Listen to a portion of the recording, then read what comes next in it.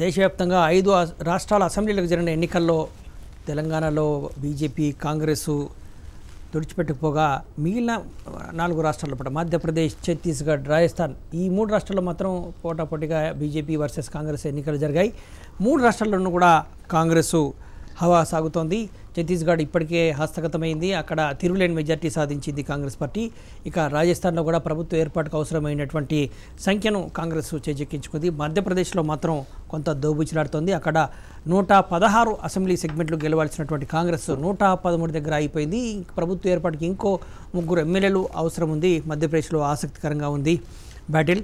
అలాగే మిజోరాము పదేళ్ళు అధికారంలో ఉన్నటువంటి కాంగ్రెస్ పార్టీ ఇక్కడ అధికారాన్ని తమ ప్రధాన ప్రత్యర్థి అయినటువంటి మిజో నేషనల్ ఫ్రంట్కు ఇచ్చేసింది. అక్కడ పదేళ్ళు ఒక ఒక కూటమి అధికారం ఉంటే పదేళ్ళు మరో కూటమి అధికారం అక్కడ అధికార మార్పిడి అనేటువంటిది ఆ విధంగా వస్తున్నటువంటిది ఈసారి మిజో నేషనల్ ఫ్రంట్కు అవకాశం దక్కింది. ఇక ఆసక్తికరంగా ఉన్నటువంటిది మధ్యప్రదేశ్ రాజకీయం. ఈ మూడు రాష్ట్రాల లోపల టిఆర్ బీజేపీ వర్సెస్ కాంగ్రెస్గా ఉన్నటువంటిది ఈ ఫలితాలు ఇవి సెమీఫైనల్స్గా రాజకీయ వర్గాలు భావిస్తున్నాయి విశ్లేషిస్తున్నాయి. ఈ మూడు రాష్ట్రాల్లో ఎన్నికల ఫలితాలు రెండు వేల పంతొమ్మిది ఏప్రిల్ మేలో జరిగేటువంటి లోక్సభ ఎన్నికల పట్ల ఏ విధంగా ప్రభావితం చేసే అనే అంశంపైన చర్చిద్దాం. పాపారావు గారు ఏ విధంగా చూడాలి? ఛత్తీస్గఢ్ మధ్యప్రదేశ్ రాజస్థాన్ లోపల బీజేపీ ఈ మూ పాలిత రాష్ట్రాలు ఈ మూడు రాష్ట్రాల లోపల కూడా బీజేపీ వెనుకంజ కాంగ్రెస్ ముందంజ ప్రభుత్వ ఏర్పాటు కాంగ్రెస్ రంగం సిద్ధం చేసుకుంది. ఈ పరిణామాలు జాతీయ రాజకీయాలపైన ఏ విధంగా ప్రభావితం చూపుతాయి? రెండు వేల పంతొమ్మిదిలో జరిగేటువంటి లోక్సభ ఎన్నికలపైన ఏ విధంగా ఎఫెక్ట్ ఉంటుంది? పాపరావు గారు.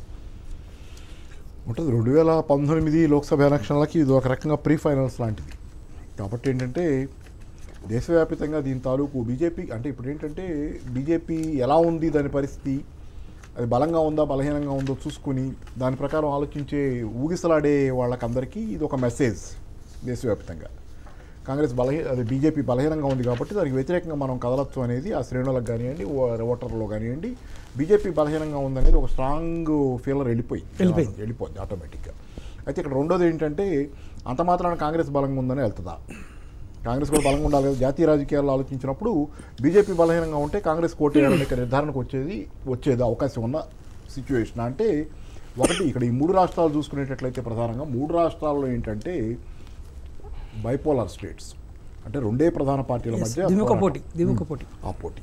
అది మొదటి నుంచి ఉంది ఇప్పుడు కొత్తగా వచ్చింది కాదు. కాబట్టి ఈ ద్విముఖ పోటీలో ప్రత్యామ్నాయం ఎవరైతే మ- ఛత్తీస్గఢ్లో మాయావతి వాళ్ళు పెట్టారు కానీ దాన్ని కూడా ప్రజలు ఆమోదించలేదు. మాయావతి ఆయన అజిత్ జోగి వీళ్ళు పెట్టారు. మధ్యప్రదేశ్లో కూడా బీఎస్పీ కంటెస్ట్ చేసింది. దేర్ మేజర్ కంటెండర్స్ కాదు. దగ్గర ఓవరాల్గా ఏంటంటే మేజర్ ముఖాముఖి పోటీలో ఎవరో ఒకళ్ళు గెలుస్తారు కాబట్టి negative vote anti BJP vote కాంగ్రెస్కి వచ్చింది. That that does not mean Congress was acknowledged very much Congress బాగుందని వేశారని నేను అంటాను అక్కడ. ఎస్ బీజేపీ పరిపాలన ఏమాత్రం బాగాలేదని చెప్పి దానికంటే వీళ్ళేనేమో అని చెప్పి వేశారు అక్కడ. అది జరిగింది. కాబట్టి ఈ ఫ్యాక్టర్ని గుర్తుపెట్టుకోవాలి. రెండోది ఏంటంటే దీన్ని జనరలైజ్ చేసే దగ్గర ఎక్కడ ప్రాబ్లం వస్తుందంటే కాంగ్రెస్ బీజేపీ ముఖాముఖి ఢీకునే దగ్గర కాంగ్రెస్ ఈ మూడు స్టేట్లో గెలిచి ఇంకా చాలా చోట్ల దానికి సీట్లు వస్తాయి దేశం అంతా కానీ మేజర్ స్టేట్స్ ఉన్నాయి ఉత్తరప్రదేశ్ బీహారు వెస్ట్ బెంగాల్ ఇట్లాంటివి ఉన్నాయి కదా ఇంకా. ఎనభై మూడు స్థానాలు ఉన్నాయి ఈ మూడు రాష్ట్రాల లోపల. పదిహేను శాతం మొత్తం ఐదు వందల లోక్సభ స్థానాల లోపల పదిహేను శాతము ఉంటాయి ఈ మూడు రాష్ట్రాల లోపల. ఎనభై మూడు లోక్సభ స్థానాలు ఉన్నాయి ఈ మూడు రాష్ట్రాల లోపల. ఈ మూడు ఉన్నాయి. కానీ ఉత్తరప్రదేశ్ బీహారు వెస్ట్ బెంగాల్. అక్కడెక్కడ కాంగ్రెస్ బలమైన శక్తి కాదు మీకు గమనిస్తే. వేరే వేరే పార్టీలు ఉన్నాయి లోకల్ పార్టీలు ఉన్నాయి. JDU plus NITI JDU plus RJD Bihar. SP plus BSP and face to. Face with అది. అందుకని ఏంటంటే ఇక్కడ మైనర్ రోల్ ఉన్నప్పుడు ఈ రోల్ దానివల్ల ఇక్కడ గెలవటం వల్ల ఆ రోల్ ఏమైనా పెరుగుద్దా? అక్కడ పెరగలిగింది ఒకటే బార్గెనింగ్ పవర్ పెరుగుద్ది. యూపీ బీహార్లో బార్గెనింగ్ పవర్ పెరుగుద్ది కాంగ్రెస్కి వీళ్ళతో బార్గెనింగ్ పవర్ పెరుగుద్ది. దాని ఎంతవరకు కాంగ్రెస్ సక్సెస్ఫుల్గా ఇప్పుడు అంటే కాంగ్రెస్కి కూడా కొత్తగా వచ్చిన కాన్సెప్ట్లు ఏంటంటే శివకుమార్ లాంటి వాళ్ళు మన Karnataka DK Shivakumar. Water resources minister అట్లాంటి వాళ్ళు రావటం కొంత అహ్మద్ పటేల్ లాంటి వాళ్ళు వీళ్ళు ఈ మధ్యకాలంలో చాలా క్రూషియల్ రోల్ ప్లే చేస్తున్నారు. ఇక సరే తెలంగాణలో ఫెయిల్ అయింది. ఎందుకంటే ఓ బేసిక్గానే పాలసీలోనే మిస్టేక్స్ జరిగినాయి. నా పొత్తనే పాలసీలోనే అందుకని అది పనిచేయలేదు. కానీ రీసెంట్ పాస్ట్లోకి వెళ్తే కర్ణాటకలో కాంగ్రెస్ పార్టీ పరోక్షంగానే అధికారం నిలబెట్టుకోగలిగింది.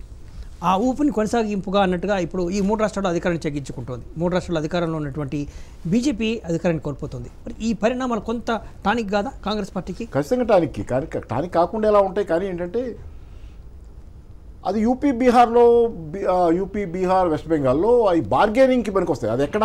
ఆల్రెడీ అది రైవల్గా అదే రైవల్గా అక్కడ లోకల్ పార్టీకో లేకపోతే అక్కడ ఉన్న పార్టీకో అది అదే రైవల్గా బీజేపీకో లేకపోతే ఒక రాష్ట్రంలో రైవల్గా ఉండేటట్లయితే అట్లాంటి చోట కాంగ్రెస్ స్ట్రెంత్ ఇనుబడించడానికి పనికి వస్తాయి. అది నేను అనేది. అంటే ఇనుమడించడం ఎక్కడ ఎక్కడ ఇనుమడిస్తుంది అంటే అది అది మెయిన్ ప్రత్యర్థిగా ఉన్న చోట. ఎస్ అట్లా కాకుండా యూపీ బీహార్లో ఏంటంటే బార్గెనింగ్ పవర్కే పనికి వస్తుంది. దీన్ని మొత్తాన్ని అది ఎలా స్ట్రాటజిక్గా తీసుకెళ్ళాలనే దాన్ని బట్టి దానికి వచ్చే సీట్లు. ఓవరాల్గా కోయలేషన్ కాకుండా ఇంకో గవర్నమెంట్ రాదు రెండు వేల పంతొమ్మిదిలో. కోalition టాపిక్లోకి వెళ్ళే ముందు ఈ మూడు రాష్ట్రాల్లో ఎనభై మూడు లోక్సభ స్థానాలు ఉంటే రెండు వేల పద్నాలుగులో బీజేపీ అరవై రెండు స్థానాలు గెలుచుకుంది కేవలం కాంగ్రెస్ కూటమి పదకొండు సీట్లు మాత్రమే గెలుచుకుంది. రెండు వందల ఎనభై రెండు సీట్లు బీజేపీ లోక్సభ ఎన్నికల్లో గెలుచుకుంటే ఈ మూడు రాష్ట్రాల్లో అరవై రెండు సీట్లు గెలుచుకోవడం. ఈసారి మళ్ళీ ఆ స్ట్రెంత్ రాగలుగుతుందా? ఇప్పుడు ఓడిపోయిన నేప- నేపథ్యంలో. పొరపాటున కూడా రాదు. పొరపాటున కూడా రాదు కానీ కాంగ్రెస్కి ఎక్కువ సహజంగా న్యాచురల్గా కాంగ్రెస్ బలం బాగా పెరుగుద్ది. ఇప్పుడు ఏమవుతాయి రోల్ రివర్సల్ జరుగుద్ది. అంతకుముందు బీజేపీకి వచ్చినాయి కాంగ్రెస్కి వస్తాయి కాంగ్రెస్కి ఏ వచ్చినాయి బీజేపీకి వస్తాయి. అదే అవుద్ది. అల్టిమేట్గా ఆ లెక్కలో జరుగుద్ది అంతకుముందు కాంగ్రెస్ తక్కువ వచ్చినాయి కదా ఈ మూడు. రాష్ట్రాలు కలిపి. అది బీజేపీ పరిస్థితి? వైస్ వర్స అవుద్ది. అవుద్ది. కానీ ఏంటంటే ఈ గెయిన్ అంతకుముందు యూపీలో బీ బీజేపీ గెయిన్ నేను పదే పదే చెబుతుంది ఏంటంటే యూపీలో బీజేపీ గెయిన్ ఉంది. మొత్తం. గెయిన్ అదే స్వీప్ చేసి ఆ గెయిన్ బీజేపీకి అది కాంగ్రెస్కి డెబ్బై యూపీలో రావాలి. అదే. ఆ ఇప్పుడు రోల్ రివర్సల్ అయినా మీకు ఇంకా ఇంకా యాడ్ అవుతా రావాలంటే యూపీకి యూపీలో బీజేపీకి యాడ్ అయినట్టు మీకు యాడ్ అవుతాయా? బీహార్లో తెచ్చుకోగలిగినట్టు జేడీయూతో కలిసి బీజేపీ మీరు ఎంత తెచ్చుకోగలరు? ఇట్లాంటి ప్రశ్నలు అన్నీ ఉన్నాయి. ఎస్ ఈ రిఫ్లెక్ట్ ఎస్ తెలంగాణలో ఈ ప్రభావం ఏ విధంగా ఉంటుందా? వచ్చే లోక్సభ ఎన్నికల పట తెలంగాణలో అంటే ఒకటండి. ఇప్పుడు ఆంధ్ర ఒకటి కేసీఆర్ గారితో ఒక మాట చెప్పాలంటే ఈరోజు కేసీఆర్ గారు ఒక గట్టి ఎక్కారు ఒక స్టెప్ ఎక్కారు ఒక అంకం దాటారు. గెలవటం ద్వారా స్వీప్ చేసుకోవడం ద్వారా సక్సెస్ఫుల్గా స్ట్రాటజీగా వెళ్ళారు ముందుకి. కానీ ఇది ఇది లాస్ట్ స్టేజ్ కాదు. ఇంకో పెద్ద అంకం ఉంది ఆయనకి ముందు. సెంటర్లో కాంగ్రెస్ కనుక గెలిచేసరికి మళ్ళీ ఆయనకి ట్రబుల్స్ బిగిన్ అవుతాయి. ఎస్ అందుకే ఫెడరల్ కూటమి అని చెప్పి ఆయన వేరే దానికి ఇంకో అసలు కాంగ్రెస్ గెలవకూడదు అనేది ఇప్పుడు ప్రస్తుతం ఆయనకి మెయిన్ ఎజెండా అదే కావా అయ్యే అవకాశం ఉంది. కాంగ్రెస్ గెలిస్తే ఎందుకంటే వాళ్ళు ఏదో కలుపుతాం పార్టీలో అని ఈ వైరుధ్యాలు చాలా తీవ్రంగా ఉన్నాయి పైకి కనపడని. కాబట్టి ఏంటి కాంగ్రెస్ గెలిస్తే ఆయన ట్రబుల్. కాబట్టి ఏంటి ఆయన ఎట్లా ఎట్టి పరిస్థితుల్లో కాంగ్రెస్ని బయట అట్టి పెట్టానుకో లేకపోతే కాంగ్రెస్ ఎక్కువ సీట్లు తెచ్చుకోకుండా చూసుకొని ఆ కోయలేషన్లో ఉండిపోయి అది కూడా న్యూట్రలైజ్ అవడానికి ట్రై చేసుకుంటారు తప్పితే ఏదో కోయలేషన్లో ఉండి దాన్ని లేకపోతే ఆయన ఆయన ట్రబుల్స్ ఆయనకు అంటే ఉంటాయి కాబట్టి ఇప్పుడున్నంత బలహీనంగా. ఇవాళ మన టాలీ ఎనభై పార్లమెంటరీ ఎన్నికల్లో ఇప్పుడు. అసెంబ్లీ సీట్లు గెలుచుకుంది. మొత్తం తెలంగాణలో పదిహేడు లోక్సభ సీట్ల లోపల హైదరాబాదు ఎంఐఎంకు అది రాసిచ్చినట్టుగానే చెప్పుకోవాల్సి ఉంటుంది. అది పోతే పదహారు సీట్ల లోపల గత ఎన్నికల లోపల టీఆర్ఎస్ పార్లమెంట్ ఎన్నికల్లో ఏమవుద్ది అంటే కలిసి వచ్చి ఉంటే వేరుగా ఉండేది. పార్లమెంట్ అసలు వీళ్ళు ముందు తెచ్చాడు కదా దీన్ని. ఇప్పుడు ఈ ఎజెండా మొత్తం అయిపోయింది. కేసీఆర్ తాలూకు తెలంగాణ ఎజెండా అయిపోయింది. చాం పోయింది అప్పుడు నేషనల్ ఎజెండా వస్తుంది ప్యూర్గా Yes. ఇప్పుడు ఈ రెండు కలిసి. వెళ్ళి ఉంటే ఆ రెండు కలిసి ఒకేసారి ఎన్నికలకు వెళ్ళి ఉంటే అప్పుడు ఇదే అది మిక్స్ అయిపోయి. అప్పుడు కేసీఆర్కి కొంత సే వచ్చేది దీనిలో ఆ రాష్ట్ర ఎజెండా దానిలో పనిచేసేది. ఇప్పుడు నేషనల్ ఎజెండా మాత్రమే ప్యూర్గా ఇక్కడ ఈ రాష్ట్రంలో పనిచేస్తుంది కాంగ్రెస్ ఖచ్చితంగా గెయిన్ అవుద్ది ఎస్ ఏం చెప్తారు? టీఆర్ఎస్ నాయకులు ఏం చెప్తారు? అనూప్ గారు. రెండు వేల పంతొమ్మిది ఏప్రిల్ మేలో జరిగే లోక్సభ ఎన్నికల్లో ఈ రకమైనటువంటి పర్ఫార్మెన్స్ టీఆర్ఎస్ చూపెట్టలేకపోవచ్చు. అప్పుడు జాతీయ రాజకీయాలు ప్రభావితం చేస్తే ప్రధానమంత్రి ఎవరనేది దానిపైన ఎన్నికలు జరుగుతాయి కాబట్టి టీఆర్ఎస్కు ఈ రకమైన స్వీప్ ఉండదు అనేటువంటిది విశ్లేషణ. కాంగ్రెస్కి ఎడ్జ్ ఉంటుంది అనేటువంటిది పదిహేడు సీట్లు పార్లమెంట్లో పదహారు మేము గెలుస్తాం ఒకటే మేము కండి.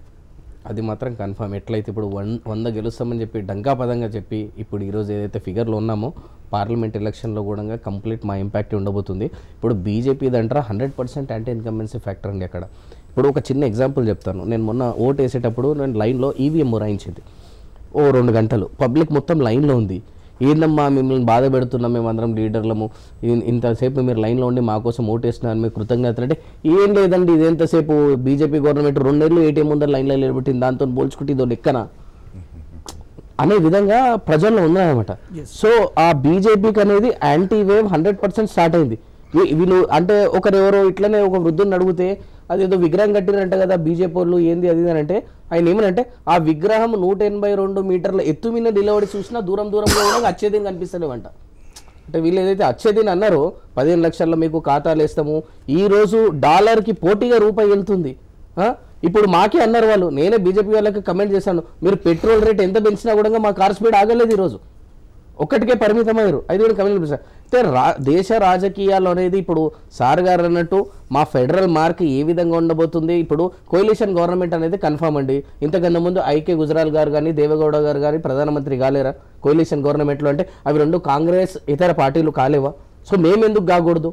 అంటే మేము ఉద్యమం చేసినప్పుడు మీరు చెప్తున్నటువంటి బీజేపీ వ్యతిరేకత అనేటువంటిది ఆ మూడు రాష్ట్రాల్లో కాంగ్రెస్కి అనుకూలించింది. రేపు లోక్సభ ఎన్నికల్లో కూడా అది కాంగ్రెస్కు అనుకూలిస్తుంది అనేటువంటిదే ఒక అబ్జర్వేషన్ ఇక్కడ టీఆర్ఎస్ ప్రధానమంత్రి ఎవరు కావాలి? జాతీయ రాజకీయాల్లో ఎవరు ఉండాలనేటువంటి దాని ఉన్నప్పుడు ఇక్కడ అసెంబ్లీకి వేసాం కదా టీఆర్ఎస్కు ఇంకేది మీకు ఇచ్చేసాం కదా? ఈసారికి కాంగ్రెస్ తామా అనేటువంటి ఒక ఫీలింగ్ ప్రజల్లో వచ్చినట్టయితే మీరు దెబ్బతినిపోతారు. కాంగ్రెస్ ఇతర బీజేపీ ఫెడరల్ ఫ్రంట్ ప్రజల్లో జాతీయ రాజకీయాల్లో కూడా తెలంగాణ వాళ్ళు చురుగ్గా పాల్గొనాలని ఒక ఆశ ఉందండి.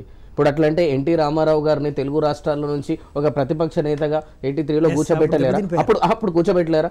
అంటే నేను అంటే మొత్తం యావత్ దేశంలో ఇందిరాగాంధీ ప్రపంచం నడిపినప్పుడు ఒక తెలుగు వారిని అక్కడ కూర్చోబెట్టారు. ఇదే తెలుగు స్టేట్ నుంచి పివి నరసింహన్ అంటే నేను అనేది జాతీయ పార్టీలో నుంచి వెళ్ళినటువంటి నాయకులు మాత్రమే కాంగ్రెస్ నాయకులు ఈ రాష్ట్రాల నుంచి వెళ్ళిన వాళ్ళు మాత్రమే సక్సెస్ అయ్యారు. ఇవాళ ఎన్టీఆర్ టీడీపీ నేషనల్ ఫ్రంట్ ఎనభై తొమ్మిదిలో పెట్టినప్పుడు అందరితో పాటు పార్లమెంటు ఎంపీలు అందరూ రాజీనామా చేసి నేషనల్ ఫ్రంట్ కన్వీనర్గా ఎన్టీఆర్ ఉన్నారు. కానీ ఆంధ్రప్రదేశ్లో టీడీపీ ఓడిపోయింది. అక్కడ నేషనల్ ఫ్రంట్ గెలిచింది. కానీ ఇప్పుడు కూడా మీరు కాంగ్రెస్ ఇతర బీజేపీ ఇతర ఫెడరల్ ఫ్రంట్ అని చెప్తున్నారు దేశ ఒకటి- మార్పు రావాలంటున్నారు కానీ ఇప్పుడు బీజేపీ వ్యతిరేక పవనాలు కాంగ్రెస్ అనుకూలంగా ఉన్నట్టయితే తెలంగాణలో ఆ ప్రభావం ఖచ్చితంగా ఉంటుంది. అప్పుడు ఈ ఒకసారి అసెంబ్లీకి టీఆర్ఎస్ అవకాశం ఇచ్చాం లోక్సభ ఎన్నికల్లో కాంగ్రెస్ అవకాశం హండ్రెడ్- ఇస్తాం హండ్రెడ్ పర్సెంట్ ఉండదు. ఫీలింగ్. ప్రజల్లో వచ్చినట్టయితే టీఆర్ఎస్ స్కోప్ ఉండదు కదా. ఆ ఫీలింగ్ అనేది హండ్రెడ్ పర్సెంట్ ఉంటుంది ఎంతసేపు వీళ్ళది ఎట్లా అంటే పాలోల పంచాయతీ. నువ్వు ఓడిపోతే నేను గెలుస్తా నేను ఓడిపోతే అదేది పైన నార్త్ స్టేట్స్ ఒకటి అంటే రాజస్థాన్ కానీ ఈ ఉత్తరప్రదేశ్ కానీ మధ్యప్రదేశ్ కానీ ఇవే. ఇప్పుడు మీరు సౌత్ ఇండియాకి చూస్తే బీజేపీకి కాంగ్రెస్కి ఇంకా గేట్లే ఓపెన్ కాలేదు. అంటే ఏదున్నా కూడా ఏదో పార్టీతో వాళ్ళు అనుబంధ సంస్థగా ఉంటున్నారు కానీ ఒక జాతీయ పార్టీ రోల్ ప్లే చేస్తే ఇప్పుడు కర్ణాటకనే రాష్ట్రం తీసుకోండి ఇప్పుడు మహారాష్ట్ర తీసుకోండి. అంటే శివసేనతో ఎవరితోనో ఒక అలయన్స్ ఎన్సీపీతో అలయన్స్ ఇక్కడ ఇక్కడ పక్కకు తెలుగుదేశము ఇక్కడ టీఆర్ఎస్ పార్టీ కేరళలో కమ్యూనిస్టులు తమిళనాడులో డిఎంకే అన్నాడిఎంకే అంటే ఇవన్నీ మమతా బెనర్జీ గారు కానీ అక్కడ. సో ఇవన్నీ రీజనల్ పార్టీస్ ఉన్నాయండి. సో ఇవన్నీ రీజనల్ పార్టీస్ కలిపేసేసి కూడా కోయిలేషన్ గవర్నమెంట్ అనేది ఛాన్స్ ఉంది. అంటే మేము అనేది ఏంటంటే పార్టీలను ఏకం చేస్తామని కాదు. ఏంటంటే ఒక వాయిస్ చేస్తాం. ఇంతకు ముందు అన్నారు కాంగ్రెస్ ముక్త భారత్. ఏమన్నామంటే భారతీయ జనతా పార్టీ అనేది బడా జూటా పార్టీ. భారతీయ జనతా పార్టీ కాదు అది. బడా జూటా పార్టీ. అన్ని ఫాల్స్ ప్రామిసెస్ ప్రజలకు ఇచ్చారు. హైప్లో తీసుకొని వచ్చేసేసి వాళ్ళు కొట్టేశారు. సో మేము ఏందనంటే కాంగ్రెస్ హటావ్ బీజేపీ హటావ్. డెమోక్రటిక్ బచావ్ అనే కొత్త నినాదంతో ముందరికి వెళ్ళబోతున్నాం ఎస్ ఇవాళ కేసీఆర్ ప్రెస్ కాన్ఫరెన్స్లో కూడా అదే చెప్పారు. బీజేపీ ఇతర కాంగ్రెస్ ఇతర ఫెడరల్ ఫ్రంట్ జాతీయ రాజకీయాల గుణాత్మక మార్పు. ఇన్ని సంవత్సరాలు దేశాన్ని పరిపాలించినటువంటి పార్టీలు చాలా సమస్యలకు పరిష్కారం చూపలేకపోయాయి. అట్లా కాంకరెంట్ లిస్ట్ మీద పెత్తనం సాగిస్తూ వస్తున్నాయి. విద్య వైద్యం ఇటువంటి అంశాలపైన ఉమ్మడి జాబితాలో ఉండాల్సినటువంటి అవసరమే ఉంది. రాష్ట్రాలు బలోపేతం కావాలి. అసలు కాంకరెంట్ లిస్ట్ ఉండాల్సినటువంటి అవసరమే లేదనేటువంటిది ఈ అంశంపైన నేను జాతీయ పార్టీలను జాతీయ రాజకీయాల్లో కూడా జోక్యం చేసుకుంటాను. ఇక్కడ పార్టీల కూటమి కాదు ప్రజల ఐక్యత. తెలంగాణలో ఏ విధంగా అయితే అన్ని వర్గాలను ఏకం చేశామో అదేవిధంగా ఏకం చేస్తాం. అది ఓవైసీతో కలిపి ముస్లిం శక్తులన్నింటిని కూడా ఏకం చేస్తూ ఇటువంటి సమాజాన్ని అన్నింటిని కూడా ఏకం చేస్తూ తీసుకెళ్తామనేటువంటి వర్షం చెప్పుకుంటూ వచ్చారు అది ఎంత మేరకు వర్కౌట్ అవుతుంది? మరి ఇప్పుడు బీజేపీ వ్యతిరేక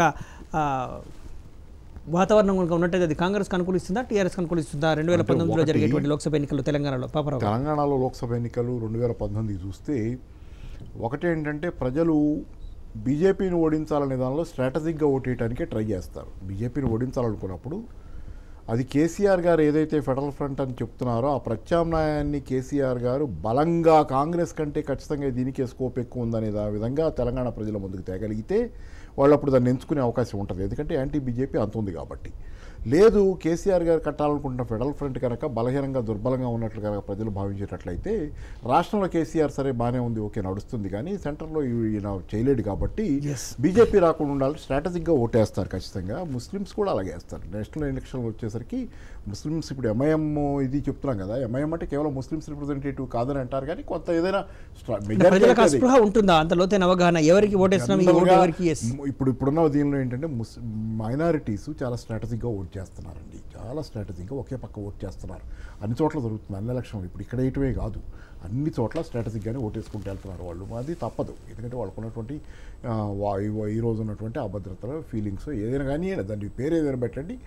అది కాబట్టి వాళ్ళు స్ట్రాటజీకి ఓటేస్తారు మైనారిటీస్ వరకు. ఓవరాల్గా ప్రజలు కూడా ఏం ఆలోచిస్తారంటే ఏ కూటమి బలంగా ఉంది కే- ఆలోచిస్తారు తప్పితే బీజేపీని ఓడించాలనేది ప్రధాన ఎజెండా సార్. చాలామందికి ఈరోజు ప్రధానంగా నేను నేను ఊరికి అంటాం కాదు. ఇప్పుడు మిత్రులు కూడా ఆ మాటలు చూశారు కదా ఎట్లా ఉందో.